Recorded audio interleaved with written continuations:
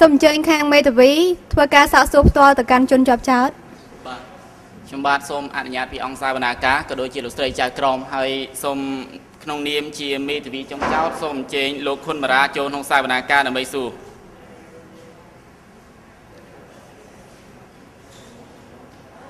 សូមអញ្ជើញប្រាប់ឈ្មោះពេញរបស់អ្នកបាទខ្ញុំបាទឈ្មោះខុនម៉ារ៉ាតើសប្តាហ៍ថ្ងៃមានអាយុប្រហែលឆ្នាំហើយសប្តាហ៍ខ្ញុំមានអាយុ40ឆ្នាំ តើមានទីលំនៅនៅទីណាដែរបច្ចុប្បន្នខ្ញុំមានទីលំនៅ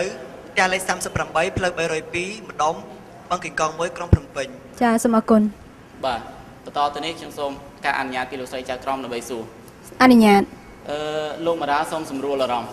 អឺតើលោកមារាជាមួយនឹងឪពុករបស់សុភារីនេះត្រូវជាអ្វីនឹងគ្នាដែរខ្ញុំនិងឪពុករបស់នាងគឺជាមិត្តស្និទ្ធនឹងគ្នា អឺនៅពេលមួយនោះគឺឪពុកសុភារីបានលេងលបែងចាញ់ហើយក៏បានមកខ្ចីលុយលោកតើលោកបានឲ្យលុយទៅគាត់ខ្ចីទេបាទខ្ញុំបានឲ្យគាត់ខ្ចីចំនួន500ដុល្លារតើលោកមានគិតការប្រាក់ពីគាត់ទេសូម្បីតែការប្រាក់ក៏ខ្ញុំ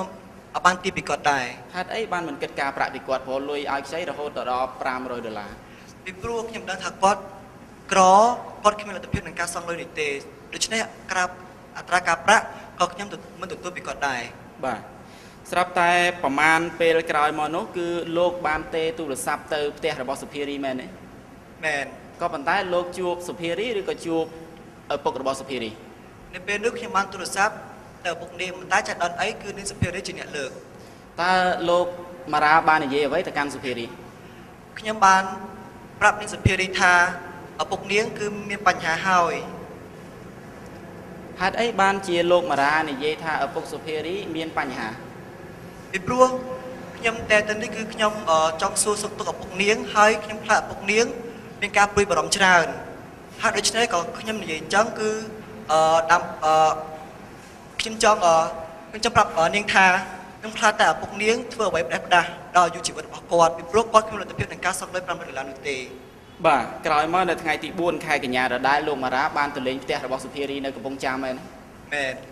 នៅពេលដែលទៅដល់លោកបានជួបជាមួយឪពុករបស់សុភារីតើឪពុកសុភារីបាននិយាយអ្វីមកកាន់លោកមារានៅពេលនោះគឺឪពុករបស់នាងបានប្រាប់ខ្ញុំថាគាត់គ្មានលទ្ធភាពក្នុងការសងលុយ500ដុល្លារនោះទេបាទហើយនៅពេលនោះតើលោកមារាធ្វើយ៉ាងម៉េចវិញទៅ នៅពេលដែលគាត់បាននិយាយថាអត់មានលទ្ធភាពសងអញ្ចឹងនៅពេលនោះគឺខ្ញុំគិតមួយសន្ទុះហើយខ្ញុំគ្មាននិយាយគ្មានអឺនិយាយអ្វីទៀតទេពីព្រោះខ្ញុំ ដឹងថាគាត់ក្រគ្មានលទ្ធភាពសងលុយតាមចម្លើយដែលលោកបានឆ្លើយលោកបានដើរចេញពីអឺផ្ទះនោះមកវិញហើយស្រាប់តែកញ្ញាសុភារីនោះបានដើរតាមពីក្រោយលោកតើកញ្ញាសុភារីនិយាយអ្វីមកកាន់លោកនៅពេលនោះនៅពេលដែលខ្ញុំដើរចេញមកនាងសុភារីក៏ដើរតាមខ្ញុំហើយនាងបានប្រាប់ខ្ញុំថាតើនាងអាចធ្វើអ្វីដើម្បីជួយឪពុករបស់នាងក្នុងការជួយក្នុងការសងលុយនេះហើយលោកបានឆ្លើយតបយ៉ាងម៉េចវិញទៅទៅកញ្ញាសុភារីនៅពេលនោះខ្ញុំគិតមួយសន្ទុះហើយខ្ញុំបានប្រាប់នាងថា នាងអាចធ្វើការនៅទីក្រុងភ្នំពេញប្រហែលជា2ឬ3ខែនឹងអាចមានលទ្ធភាពក្នុងការសងលុយនេះបានអឺតើលោកគិតថាជាការងារអ្វីដែរនៅពេលនោះគឺខ្ញុំមិនតន់ដឹងច្បាស់ទេប៉ុន្តែខ្ញុំគិតក្នុងចិត្តថាការងារនោះប្រហែលជាការងារបម្រើតុកបាទក្រោយមកទៀតគឺកញ្ញាសុភារីបានយល់ព្រមមកទីក្រុងភ្នំពេញជាមួយលោកដោយការស្ម័គ្រចិត្តមែនទេបាទពិតប្រកបមែនបាទ នៅតាមផ្លូវគឺលោកមារាបាននិយាយថាសុភារីមានរូបសម្បត្តិស្រស់ស្អាតហើយទៅដល់ទីក្រុងភ្នំពេញនឹងជួបបរិសុទ្ធជាច្រើនហើយធ្វើអីក៏ធ្វើទៅប្រយ័ត្នមានកូនហេតុអីក៏លោកមារានិយាយយ៉ាងដូចនេះទៅកាន់សុភារីខ្ញុំបាននិយាយអញ្ចឹងមែនហើយខ្ញុំនិយាយអញ្ចឹងមែនពីព្រោះដោយសារតែខ្ញុំរាប់អាននាងឪពុករបស់នាងនិងខ្ញុំគឺជាមិត្តភក្តិដ៏ជិតស្និទ្ធនឹងគ្នាយ៉ាងណាមិញនាងគឺជាស្រីម្នាក់ដែលទំនឹងធំហើយគឺជាស្រីស្អាតម្នាក់ហើយនាងអឺ ជាស្រីជាស្រីម្នាក់ដែលដែលដែលដែលមកពីខេត្តកំពង់ចាមដែលនាងមិនស្គាល់ទីតាំងភូមិសាស្ត្រនៅទីក្រុងភ្នំពេញជាពិសេសនៅខេត្តនៅខេត្តបាននេះឯងដូច្នេះខ្ញុំនិយាយនេះគឺមានការព្រួយបារម្ភទៅលើនាងបាទក្រោយមកគឺលោកបាននាំសុភារីមកដាក់នៅខេបាមែនទេបាទមែននៅពេលនោះគឺសុភារីបានទៅនិយាយអំពីការងាររត់តុកជាមួយលោកយ៉ែមតើមែនទេបាទបាទហើយអឺបន្ទាប់ពីនោះមកគឺលោកយ៉ែមបានឲ្យនៅកញ្ចប់ស្អីម្យ៉ាងមកលោកមារាតើកញ្ចប់នោះគឺជាអ្វីដែរ កញ្ចប់នេះគឺជាកញ្ចប់លុយដែលលោកយ៉ែមបានខ្ចីខ្ញុំពីមុនយូរណាស់មកហើយតើលោកចាំបានទេតម្លៃលុយប្រហែលជាប្រមាណដែរការខ្ចីនោះការខ្ចីនោះប្រហែលជា10000ដុល្លារប៉ុន្តែវាយូរណាស់មកហើយខ្ញុំមិនប្រកាសនោះទេបាទហើយក្រោយមកទៀតនោះគឺលោកមារាបានចាក់ចេញពីបារនោះតែក្រោយមកតើលោកបានដដែលត្រឡប់ទៅលេងនៅបារខេបារនឹងវិញទេនេះពេលអឺនេះពេលដែលខ្ញុំចាក់ចេញខ្ញុំអឺធ្លាប់លេងនៅអឺខេបាងនេះដែរ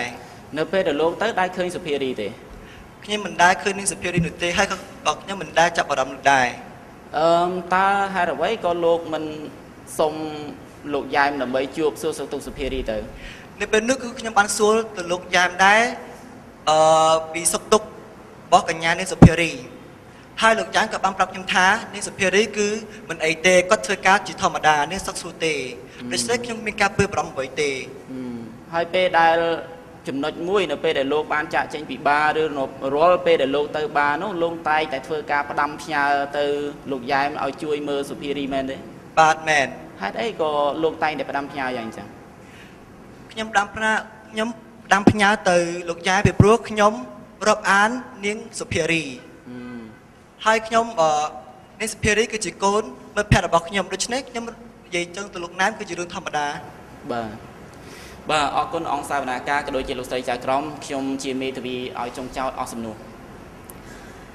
តើខាងព្រះញ្ញាមានសំណួរឆ្លងទៅកាន់ជនជាប់ចោតទេខ្ញុំមានអឺលោកម៉ារ៉ាសួស្តីបាទខ្ញុំសង្ឃឹមថាលោកនឹងសហការជាមួយនឹងខ្ញុំដើម្បីរកយុត្តិធម៌និងការពិតបាទហើយនៅក្នុងនីតិវិធីនេះផងដែរលោកសូមឆ្លើយថាបើពិតសូមលោកឆ្លើយថាពិតបើមិនពិតសូមលោកឆ្លើយថាមិនពិតខ្ញុំសង្ឃឹមថាលោកនឹងសហការជាមួយនឹងខ្ញុំនេះខ្ញុំមានសំណួរមួយចំនួនសូមសួរទៅលោកម៉ារ៉ា តើលោកម៉ារ៉ាស្គាល់ឪពុករបស់សុភារីមែនទេមែនឬក៏មិនមែនមែននេះខ្ញុំសួរថាអឺម៉ារ៉ាដឹងថាឪពុកសុភារីខ្ចាញ់លបែងហើយមកខ្ចីលុយពីម៉ារ៉ាមែនទេមែនសូមអរគុណម៉ារ៉ាបានឲ្យលុយទៅឪពុកភារីតិចអឺដើម្បីទិញអង្គដល់ទៅ500ដុល្លារមែនទេបាទហើយម៉ារ៉ាបានទុកពេលរយៈពេលឲ្យលោកអឺឪពុករបស់ភារីសងលោក4ខែត្រូវទេបាទអឺម៉ារ៉ាដឹងថាគ្រួសារឪពុកភារីជា អ្នកក្រីក្រម៉ារ៉ាដឹងមែនអរគុណអឺខ្ញុំសូមនិយាយអំពីបទការណ៍ថ្ងៃទី5កញ្ញាបន្តិច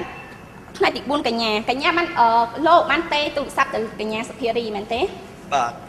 ហើយលោកបាននិយាយតាមទូរស័ព្ទតាមកំណត់ហើយលោកបាននិយាយថាលោកបារម្ភពីសុខភាពឪពុកកញ្ញាមែនទេមែនសាសូមអរគុណ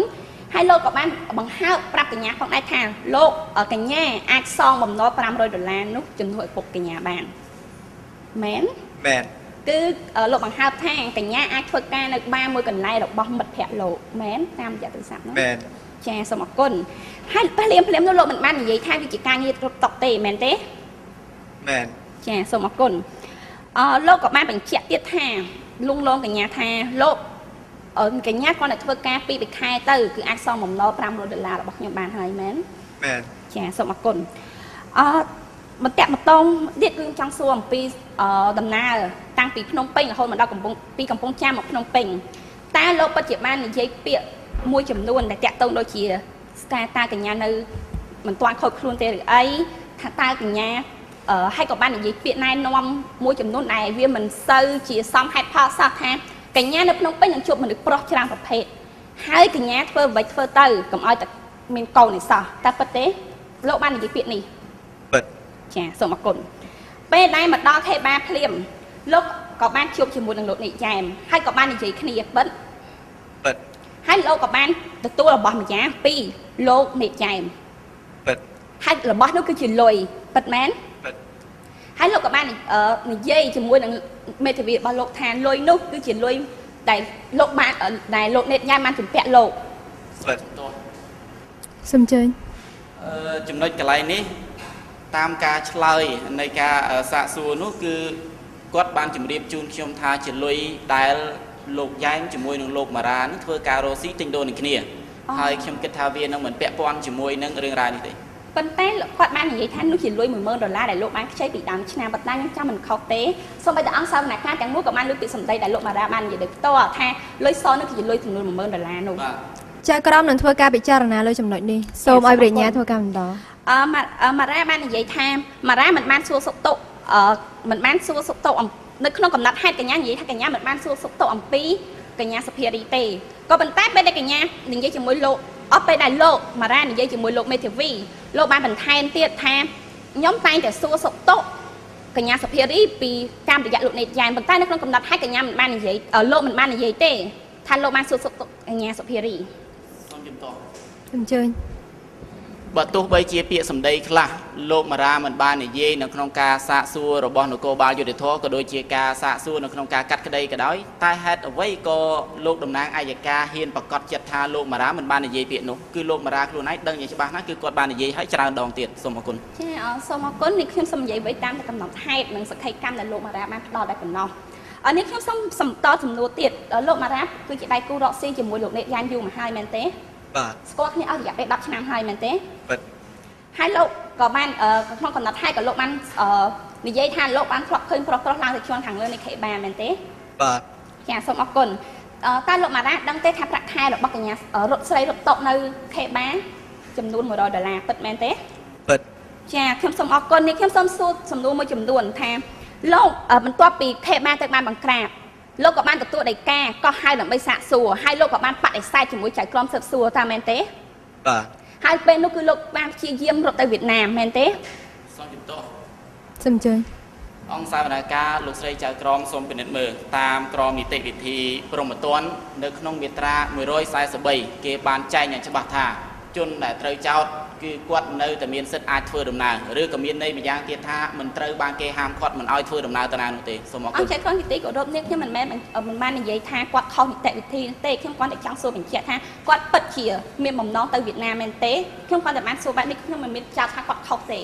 អរសូមអរគុណនេះខ្ញុំសូមបន្តសំណួររបស់កុំអីអឺអស់មករបស់នាងខ្ញុំនេះខ្ញុំសូមសួរថាអឺ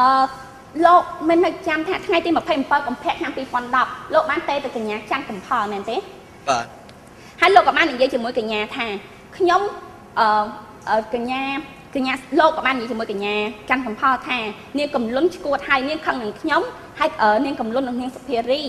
បានអឺកំពុងនាំពីដាក់ពាក្យបណ្ដឹងដល់ខ្ញុំទៅទេបាទអូខេលោកក៏បាននិយាយថាអឺលោកក៏បាននិយាយក្នុងខ្សែអត្ថនិយាយថាខ្ញុំអាចថាខ្ញុំមិនដឹងតែលោកបាននិយាយពាក្យនេះទេនៅពេលដែលកញ្ញាច័ន្ទកំផលនិយាយជាមួយលោកថាបងបានដែលប្អូនឯងកុំយកនាងទៅដាក់ទីនោះ ហើយបងអូនឯងក៏ដឹងដែរថាទីនោះមានអ្វីហើយលោកក៏បាននិយាយថាបាទខ្ញុំដឹងក៏ប៉ុន្តែខ្ញុំអាចនិយាយថាខ្ញុំមិនបានដឹងពីរឿងនោះលោកបាននិយាយពាក្យនេះមែនទេខ្ញុំពិតជាបាននិយាយពាក្យនេះមែនមានន័យថាលោកចង់ធ្វើពើថាលោកមិនដឹងថាខេបាជាមានកន្លែងពេទ្យចារនៅជាន់ខាងលើមែនមិនពិតទេប៉ុន្តែលោកបាននិយាយថាក្នុងសំនោះលោកនិយាយថាខ្ញុំអាចដឹងសូមអរគុណនេះខ្ញុំសូមសំណួរសួរសំណួរបន្ថែមទៀតអឺលោកគឺជាអូខេសូមអរគុណនេះខ្ញុំអត់សំណួរចា តើខាងមេតាវីមានសំណួរអ្វីបន្ថែមទៅកាន់ជនជាប់ចោតទេ